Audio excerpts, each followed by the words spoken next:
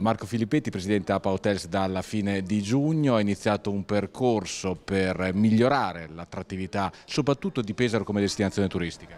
Sì, eh, intanto ho ereditato comunque un, um, un'associazione diciamo, in, in, buona salute, è, è mio dovere continuare a, a, a cavalcare questa, questa, questa modalità. Eh, stiamo lavorando eh, soprattutto con progetti eh, futuri per eh, soprattutto presentare dei progetti all'amministrazione e, e, al comune eh, per cercare di comunicare meglio la destinazione Pesaro. Ecco, Pesaro ha un suo focus sul periodo estivo, essendo località balneare, però si cerca di guardare oltre.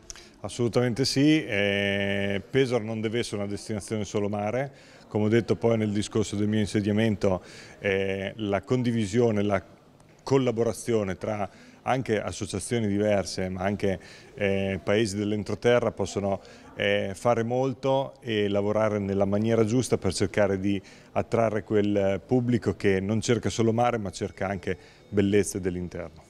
Il percorso di Capitale della Cultura, discutibile o meno, comunque ha aperto una strada diversa, una strada eh, anche dal punto di vista culturale eh, che può fare gioco a questo obiettivo. Sì, eh, Pesaro 2024 comunque ehm, ha, ha, dato una, mh, eh, grossa, una grossa risonanza a, a Pesaro.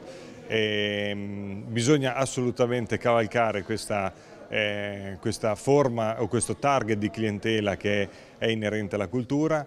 E siamo Diciamo anche qui eh, stiamo buttando giù progetti per cercare poi, perché eh, il, il, target culturale appunto va in quella, in quella direzione della desesonizzazione, quindi non cerca solo mare ma anche ottobre, novembre o magari eh, aprile e maggio possono eh, assolutamente eh, allungare possono assolutamente allungare la stagione, quindi prendere quel target di clientela per eh, cercare di destagionalizzare il più possibile. Ecco, in questo 2024 avete notato una differenza anche sulla tipologia di turista tra l'italiano e lo straniero? Ma eh, siamo, mo siamo, molto contenti perché quest'anno abbiamo eh, rivisto i turisti tedeschi che avevamo perso in passato.